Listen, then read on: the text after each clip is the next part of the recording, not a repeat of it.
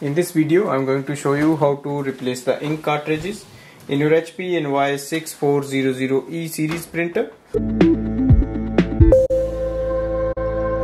So switch on the printer and these are the ink cartridges so take them out of the plastic packaging. Now lift this section.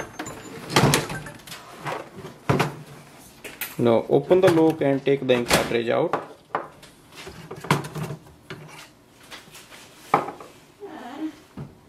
Now install the new ink cartridge. So black goes here.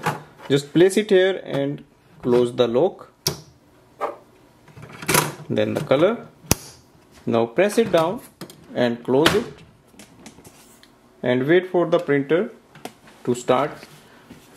It may print alignment page so you can just scan that. So this way we can replace the ink cartridges in this printer. Thanks for watching